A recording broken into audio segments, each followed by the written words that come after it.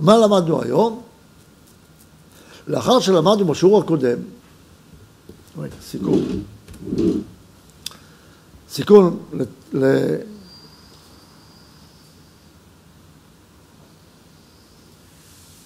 לעמודים תשל"ג, תשל"ד.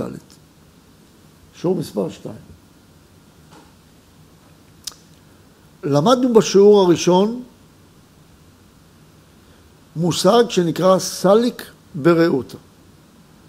דהיינו, הוא מלמד אותנו על הזיווג, שהזיווג נעשה בגלל רצון העליון, ולא בגלל התחתון. עכשיו, העליון נקרא זכר, התחתון נקרא נקבה. מדוע? למה התחתון נקרא נקבה? למה? כי הוא בעל החיסרון, יפה מאוד.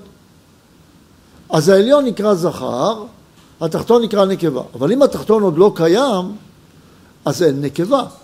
זה נקרא רק ברצון העליון. מה השורש של החוק הזה?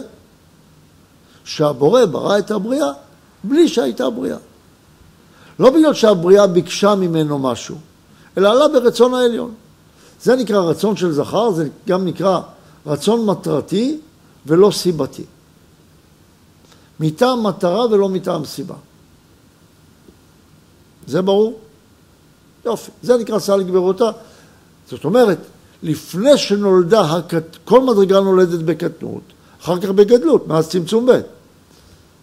אז לכן, להולדת הקטנות מחויב שיהיה סל גבירותה. ברצון העליון. אם העליון לא ירצה מצד עצמו להוליד את התחתון, לא ייוולד התחתון. למה לא בגלל הביקוש של התחתון? כי הוא לא קיים. אז איך העליון יודע להוליד אותו? יש לו רשימות. מטעם הרשימות שלו עצמו. אוקיי, עד לפה הבנו את השיעור הראשון. שיעור שני, מה למדנו היום? היום למדנו, הוא אומר, אני רוצה להסביר לך את הרעיון העצום הזה של הקשר בין עליון לתחתון. אומר, זה דבר כל כך נפלא, הקשר הזה, שהוא נותן לך השלמה. בזה שאתה יכול להשפיע, ובזה שהתחתון יכול לקבל, בזה יש שלמות. בזה שיש רב ותלמידים, ויש דורות ראשונים ודורות אחרונים, בזה שיש בורא ויש נברא, בזה שיש עליון ותחתון ולא כולם שווים, כמו המשוגעים שאומרים שכולם צריכים להיות שווים, בגלל שיש זכר ונקבה, עליון ותחתון, סיר ומכסה, משפיע ומקבל, בורא ונברא, בגלל זה יש שלמות בעולמות. למה? אומר, אני רוצה להגיד לך שני כללים, שבזכות הכללים האלה תבין כמה חשוב שנפעל בסדר הזה של תחתון ועליון. ולא התחתון ירצה להיות העליון, ולא העליון ירצה להיות התחתון. כל אחד יש לו את התפקיד שלו. וכמו שהעליון צריך את הת... כמו שהתחתון צריך את העליון, גם העליון צריך את התחתון. זה המ... זו המערכת, ככה היא בנויה. כל זמן שצריך לתקן. זה שצריכים להיות כולם שווים, שכל אחד בדיוק עושה את התפקיד שלו ויודע את החיסרון שלו ועושה את הכל, זה בגמר תיקון. זה תחכה לאחר כך. כשרוצים לפעול את זה לפני שגמרנו לתקן, זה שקר. אלא צריך להיות עליון ותחתון.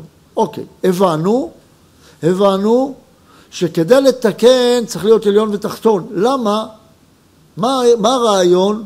אומר, בוא אני אלמד אותך שני כללים שבזכות הכללים האלה תבין את הרעיון שצריך את הבחינה הזאת. הכלל הראשון הוא שהחבד העליון ירדו בצמצום ב' לבחינת התחתון. זאת אומרת שהעליון נשאר לו רק גלגלתא ועיניים. אז אם העליון יש לו רק גלגלתא ועיניים, אז בגלל שיש לו רק גלגלתא בעיניים, הוא לא יכול להיות שלם. והחיסרון שלו, האחב שלו, נמצא אצל התחתון. אז זה הכלל הראשון. אחוריים של כל עליון נמצאים רק בתחתון שלו, ולא אצלו. אוקיי, זה כלל ראשון. כלל שני. כלל שני אומר שכל תחתון נושא בתוכו כל מיני אחוריים שנפלו מכל הפרצופים שממנו ולמעלה. ולמה אני עושה קול כזה גדול? כי לא מדובר רק עליון ותחתון קרובים, אלא מדובר על תחתון שכל העליונים שלו עדיין צריכים תיקון. מי צריך תיקון?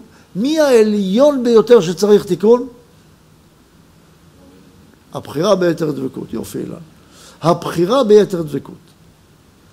ואחר כך גלגלת, צריך לתקן את הלמטה מהפה שלו. אבא בא ועשה את התיקון הזה. אז אב צריך את התיקון שלמטה מהפה שלו. אבל הוא תיקן כבר עד החזה דגלגלת. אז גלגלת צריך עכשיו את התיקון שמתחת לחזה שלו. ואז בא סג ומתקן, כי הוא מחזיק את התיקון בזכות מה שסג תיקן, שהוא מחזיק בתוכו את הרצון של התיקון של גלגלת, של מחזה למטה שלו, סג תיקן על ידי זה שהוא העלה את החיסרון לאב, ואב העלה לגלגלתא, ואז גלגלתא תיקן בפנימיותו את התיקון של מחזה ולמטה שלו, ונתן את ההערה הזאת לאב, ואב נתן אותה לסג, וסג תיקן שם, אז בזכות זה גלגלתא תיקן עד הטבור, ואב תיקן עד הטבור שלו. וסג תיקן גם עד המקום הזה שלו, אבל לסג היה חסר, וגם לגלגלתא וגם לאב את כל הלמטה מטבור שלא תוקן. וכן הלאה, כל תחתון מחזיק את החיסרון של כל העליונים, וכשהוא מתחיל לתקן, למשל כשיתחיל לתקן נקודות דסג, כשעולם הניקודים יבוא לתקן, עולם הניקודים מחזיק גם את, התק... גם את החיסרון של הכי עליון, של הבחירה ביתר דבקות, שהיא עוד לא נגמרה לתקן.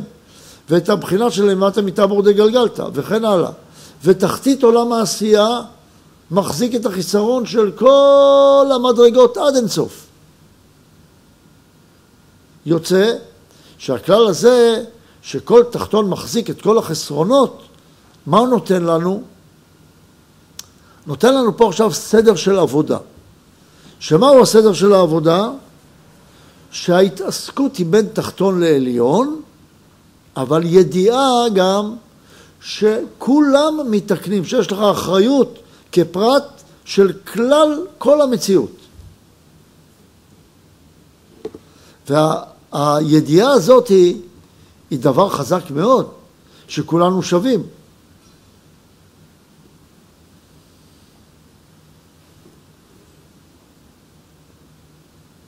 מה? מה? כולנו יחד באותו תיקון. אם לך חסר ואני עליון שלך, גם לי חסר. אם אתה עליון שלי עכשיו, נגיד אנחנו עושים עבודה ביחד, עכשיו אתה עליון שלי שאני צריך ממך משהו, אני לא מתבייש לבקש ממך. למה אני לא מתבייש? אני יודע שזה שייך גם לי וגם לך. אין מה לבקש, בלח... אין מה להתבייש בלבקש לתקן. יש להתבייש בלבקש לקבל את האור בלי לבקש לתקן. אבל אם אני תחתון, אז אני לא צריך להתבייש לתקן. לא הביישן למד. מותר לי להעלות חיסרון לתיקון, אם אני רוצה לתקן. זה בושה ללכת לבקש אור.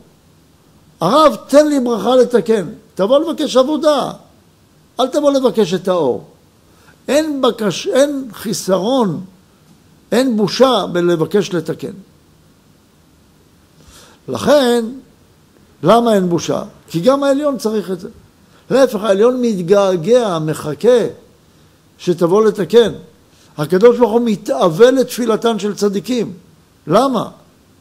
אתה רוצה, תיתן להם את האור, מה אתה כל כך מתאווה? הוא אומר, לא, אני מתאווה לזה שהם יבואו לבקש לתקן, כי ככה תושלם הבריאה בשותפות. ולכן יוצא לנו שמבית הכללים האלו אנחנו עובדים כך. כל תחתון עובד עם העליון שלו, אבל בידיעה שהקשר הזה בין עליון לתחתון הוא חלק מתיקון כלל בריאתי. וככה עובדות המדרגות. סיכום בנקודות.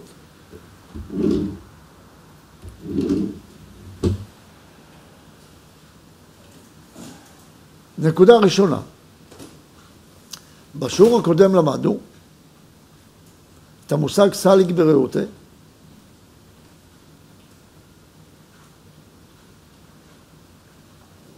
שזה אומר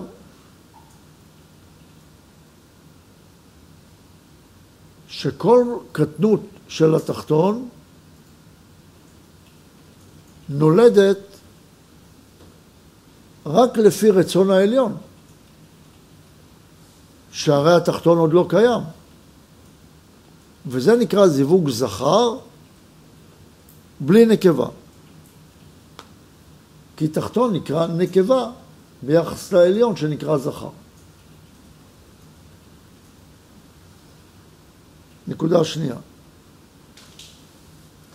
בית כללים קובעים את כל דרך העבודה של תיקון כל החסרונות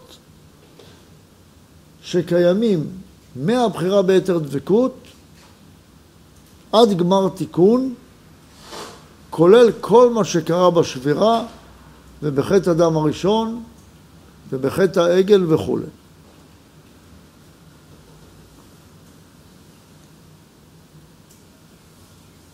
נקודה הבאה. בית הכללים, לא, לא צריך ככה, כלל האלף, החפ של כל עליון מצוי במקום התחתון.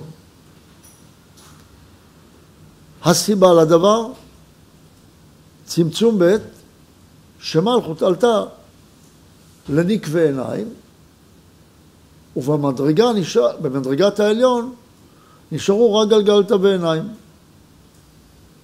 והחפ ירדו לתחתון.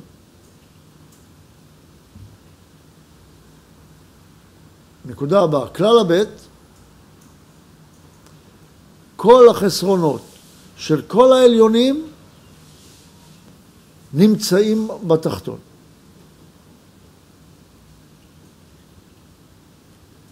הטעם לכך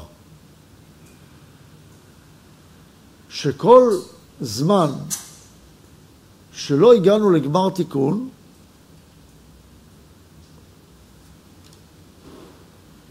אז החסרונות שהם אה, מגבלות של קבלת האור נמצאים בתחתון. בהכרח אם הם נמצאים בעליון. לא ממש מוסבר הטעם, אבל זה יספיק לנקודות. נקודה הבאה, העליון לא יכול להיות מתוקן בצורה שלמה אם התחתון לא מתקן. ויוצא מכך שהתיקון חייב להיות מערכתי.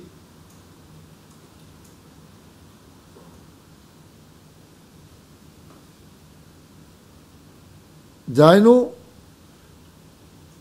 שכל המדרגה תתקן שהיא כלל הבריאה רק אם גם התחתונים ביותר יתקנו. נקודה הבאה דרך העבודה היא כזו, שכל תחתון עובד עם העליון שלו, מתוך ידיעה שיש לו תפקיד בכלל התיקון הבריאתי. עד כאן היום, תודה רבה.